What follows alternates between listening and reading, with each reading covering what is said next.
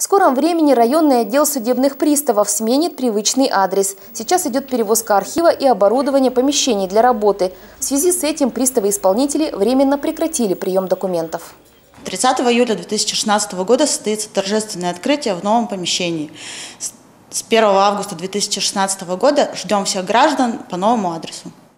Располагаться отдел судебных приставов будет в седьмом амикрорайоне на пятом этаже бывшего здания АУС. Количество специалистов и часы работы останутся прежними.